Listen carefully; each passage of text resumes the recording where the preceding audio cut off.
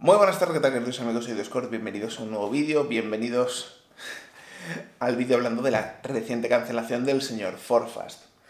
Vamos a hablar un poco del señor Forfast y luego hablaremos del proceso de la cancelación y cómo me parece a mí que es un cáncer para la sociedad y lo peor de todo es que simplemente una cosa que ha nacido, que es exclusivamente de los Social Justice Warrior y que evidentemente se le está tirando muy a la cara. Vivimos en una sociedad que el contexto no importa, que la historia no importa. Y lo peor de todo es que la información es altamente prostituible. Hasta ese punto vamos a decir que it's wanna be baby. Bien, la cuestión está con, con el señor Forfas es que, bueno, él, como nació, pues yo, bueno, yo personalmente le conozco en persona, coincide con él en dos eventos en Madrid, y voy a decirlo de la manera que se comportó, sobre todo en el segundo de ellos, que pude tener más libertad de poder hablar con él, nada, cinco minutitos. Pero las sobradas y los comentarios que soltaba, mmm, vamos a decir que, aunque estuvieras pedo, que lo estabas y bastante, por eso dudo que te acuerdes de mí, en aquel momento tenía, estaba más rapado y tal, pero bueno, eh, tenía una barba preciosa, bueno, pues la cuestión esta es que aquí el caballero eh, empezó pues, a tener una serie de, de contenido en internet exitoso, sus famosos entrevistas a botellones y ese tipo de cosas. El problema está es que, bueno, el formato de entrevista troll no es nada nuevo, es creo que el ABC de la televisión primeriza. La cuestión esta es que, bueno, como era algo tan viejo, tan sobado, pues ya ninguna televisión lo hacía. Es igual que la, la típica prank, está a la altura de coger una modelo que está muy buena, ponerle una falda que se le rompa al andar dos pasos y ver las reacciones de la gente viéndole el culo a una actriz. Normalmente ese tipo de vídeos lo solemos ver con una música como si fuera de Benny Hill y no nos sorprende. Pues eso era el contenido que hacía el señor Forfas. ¿Era un contenido malo? Cutre lo máximo. Mejorable, por otro lado, pero no era un mal contenido, un contenido cutre, malo, es decir, rápido, tal. Era fast food del entretenimiento. Funcionar funcionaba. la gente se lo pasaba bien y, sinceramente, si tú haces un contenido que sea entretenido, aunque sea por una pequeña parte de la audiencia, bien hecho, sinceramente. Yo en eso no le puedo poner ninguna pega. ¿Cuál es el problema? Por lo que tengo un problema con este caballero. Eh, en los últimos 5 años, 5 o 6 años, cuando ya su fama empezaba a despegar, eh, cuando se conocía el nombre de Forfas antes que el nombre del que hacía las entrevistas en los botellones, pues el problema está es que, claro, el chaval se hinchó el pecho como lo que no puede estar escrito. Y este caballero ha sido uno de los tantos que se ha centrado en, hacer, en facilitar, aumentar, dinamizar y criticar linchamientos públicos. Y lo peor de todo es que con los mismos argumentos que ahora llora. No literalmente, no está llorando, pero sí está sollozando. Como el hecho de es que no hay contexto, me están sacando la información. No es por nada, tú hacías lo mismo. Tú y el famoso youtuber de la W, que coño es Wismichu, eh, habéis hecho esa especie de cambio público, os habéis convertido en aliados, ¿de acuerdo? Que es como un social justice warrior, pero muy centrado en el feminismo, ¿de acuerdo? Eres tan tonto como un social justice warrior, hace las mismas gilipolleces con un social justice warrior, pero súper centrado en el feminismo. Claro, el problema está es que los Social Justice Warrior y este tipo de gente, que además ahora están tan en boga con el Black Lives Matter y estas mierdas, pues el problema está es que es gente que lo que utiliza es este movimiento social de la ira colectiva en una manera de tapar sus vergüenzas. Claro, el problema está es que cuando tú eres una persona que tu contenido más relevante es un contenido que lo puede hacer un mono con una pandereta, que cuando has intentado hacer contenido más elaborado, la gente se te ha tirado al cuello diciendo, oye, no mola y vuelve a los botellones, y que lo más que has podido hacer es colaborar en un par de programas de radio youtubers con más o menos éxito, pues vamos a decirlo que sí, estabas bastante jodido. No porque tu formato sea malo, vuelvo a repetirlo, hay otros youtubers, ¿de acuerdo? Que utilizan el mismo formato que tú, ¿de acuerdo? Recientemente, incluso ya contigo, ya siendo famoso, que a esa gente les han comparado contigo, pero su contenido es distinto, ¿de acuerdo? Va con una ideología. Hay unos que son unos hipócritas y hay otros que son coherentes. Lo más probable es que este último, ¿de acuerdo?, pueda salir adelante del contenido de entrevistas trolls. Y lo mejor de todo es que pueda hacer como el follonero, redimirse y mejorar su propia imagen pública.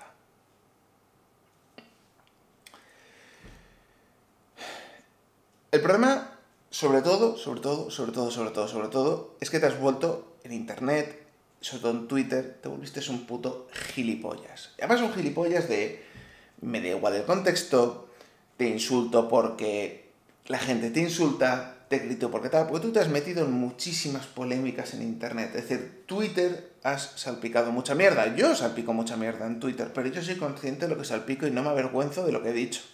Solo quitando dos cosas por el tema del famoso vídeo de, de Wismichu, pues posiblemente le di una contestación más fuera de tono de lo que yo opinaba de del tema este de Dala Review en su momento. A mí Dala Review, como digo, no me gusta su contenido, su contenido de Dala Review. De Dala sin filtros y este tipo de cosas cuando empieza a demostrar la hipocresía, pues a mí personalmente me gusta, porque está desmontando a los hipócritas. Yo no soporto a los hipócritas, me tocan muchísimo los huevos los hipócritas. Porque lo peor de todo es que un hipócrita no es coherente en su discurso, no es coherente en su comportamiento, es decir, promueve A, pero hace B, critica a B, pero el ACB se caga en la puta madre de la gente porque no defiende A cuando él ni siquiera usa A. Y ese es el problema que tú tienes has querido vender un discurso en los últimos años como que tú eres mejor persona y demás. Y lo peor de todo es que ahora te están atacando con cosas que hiciste hace ya bastante tiempo. Pero es que ya en aquella época ya te habías vuelto un Social Justice Warrior de manual. ¿De acuerdo? O mejor dicho, un aliado. A la española, por decirlo de alguna manera. Porque para mí son casi símiles. Pues bien, la cuestión esta es que te jodes. Criticaba, es decir, eh, no sé si a mí en su día me, me bloqueaste o me mandaste a la mierda porque criticaste a alguien sin contexto y yo te dije, oye, es que lo que dice esta persona viene por esto, no por lo que te está viniendo por ahí. Tú me dijiste, tú eres un gilipollas y me lo soltaste. Es decir, me vino una contestación por ahí y me bloqueaste. O yo recuerdo que es como que en plan de que se me cerró la posibilidad de contestarte. O me llegó hate porque yo te contesté, no recuerdo. Pero bueno, sinceramente es que me la suda. El mayor problema es ese es que tú en el pasado te has comportado como un verdadero nazi. Sí, todas estas feministas, todos estos aliados, todos estos social justice warriors al final son fascistas. Son, bueno, son peor que fascistas, son nazis. ¿De acuerdo? Son, es decir, van con una idea súper radicalizada de algo y como no vayas con la misma idea, van contra ti a fuego y da igual lo que sea. ¿De acuerdo? Utilizan la técnica de tierra quemada más cerda y asquerosa posible. Y tú has sido uno de esos tantos. ¿Tu problema ahora cuál es? ¿Que te está cayendo mierda?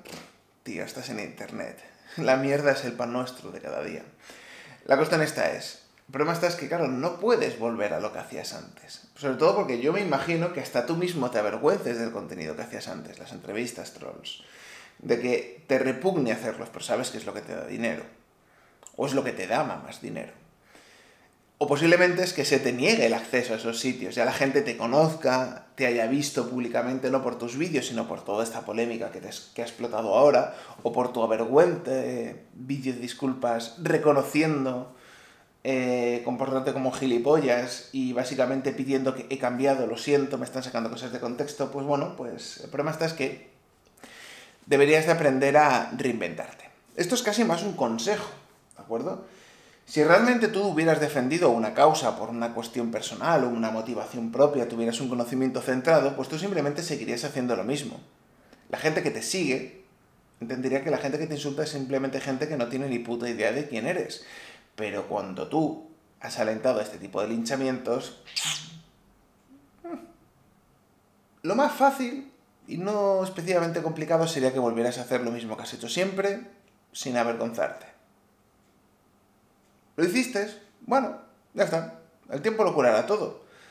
Posiblemente podrás ir poco a poco lavando tu imagen, eh, explicando ciertas cosas, rebatiendo cierta información. Vamos a hacer Dallas en este sentido, creo que es el mejor ejemplo que se puede tener de cómo lavar una imagen jodidamente toxificada, porque lo que habéis hecho tú y otros tantos en internet, y yo reconozco que en su momento le di un poquito más de hate porque me lo creí, me creí la mentira.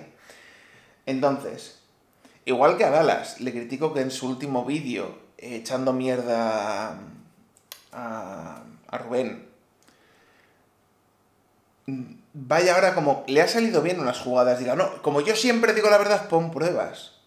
Porque estás acusando a alguien solo de habladurías, de te han dicho, te han contado, conoces a una persona que, no, pon pruebas. Porque el problema está es que dices tú, bueno, es que yo tengo, yo realmente me lo han dicho y sé que se, da igual. Se puede sacar de contexto, puede sacar esa información y eso es lo crítico a Dallas, ¿de acuerdo? Y creo que el de los primeros dentro del sector salseo fue Sur y fue súper correcto, en plan de, no es por nada, tú has vivido un infierno por culpa de gente como esta, no hagas lo mismo que hace esta gente. Por mucho que odies a una persona, ¿de acuerdo? Si quieres criticarla, tienes que demostrar de que hay una base. Porque si no, al final, todo este círculo de linchamientos, y es aquí un poco a lo que viene el tema de la cancelación, va a seguir pasando. Eh, yo me llevo bien con Torbe, trabajo con Torbe, he trabajado, bueno, he trabajado y trabajo con Torbe, y es una persona que conozco hace muchísimos años. Es un tío que le han echado mierda cascoporro desde siempre. Desde por gordo, por feo, por viejo, por polla pequeña, por lo que sea. Claro, luego ha habido acusaciones de trata de blancas, prostitución infantil, ese tipo de cosas que eran falsas. Y fueron acusaciones, tal, la cuestión está es que, bueno, está pendiente del juicio que se haga, pero las pruebas se han ido cayendo una a una, porque se ha demostrado que han mentido, etc. Simplemente falta, pues como le metieron en prisión provisional, porque le metieron en prisión provisional, tiene que haber juicio. Ya no simplemente tal, porque le tienen que indemnizar y él luego va a contraatacar. Y va a ser muy bonito muy bonito. Pues el problema está es que, claro, a Torbe siempre la cae de mierda. Y tú cuando haces algo en internet siempre te va a caer mierda. Y es fácil de que tengas que entender que ciertas cosas tienen que caer mierda. Pero el problema está es cuando te cae mierda por algo falso. ¿De acuerdo? Es decir, yo entiendo que en mis vídeos, siempre este vídeo va a tener mínimo un voto no me gusta, porque hay gente que me odia. ¿Poca gente? Bueno, poca gente también me ve, pero bueno, mucha gente me conoce. La cuestión esta es que, bueno, pues esa especie de hate siempre va a estar allí. Y el problema está si tú eres coherente con tu discurso, tú sigues haciendo lo mismo que estabas haciendo antes, simplemente es no te vendes por una ideología, por conseguir una aprobación temporal, pues bueno, convives con ello. No le puedes caer bien a todo el mundo. No puede ser guapo, simpático, agradable, que tu aliento huela menta y lo peor de todo es ser una excelente persona. No se puede. Es decir, todo el mundo caga mal, todo el mundo suelta un improperio o todo el mundo hace una burrada. Sociedad, llámalo como quieras. Y todo el tema este de la cancelación no es nada más que alimentación para este tipo de gente. Pero es que para mí personalmente la cancelación, es decir, lo que posiblemente le va a pasar aquí a Forfas, es que él ha defendido tanto la cancelación a otros, el ataque tan aberrante a otras personas, tan fuera de puta lógica, que es que él mismo no va a tener los putos cojones de salir adelante. Al menos públicamente. Puede que salga adelante con una empresa, lo que sea, monte un negocio o directamente vuelva a estudiar, no sé si te, acabó terminando la carrera o no, y se dedica a su oficio. O sea listo y se ha podido invertir en su momento, pues pueda tirar de rentas más o menos bien. Pues el problema está es que, claro, cuando una persona hace un contenido que puede ser polémico, pues hay que apechugar que es un contenido polémico. El problema está es cuando tú haces un contenido polémico pero lo haces únicamente por subsistencia, no porque crees en el contenido y lo peor de todo es te apuntas a cualquier linchamiento a terceros, pues es muy jodido. ¿Cómo salir adelante de esto?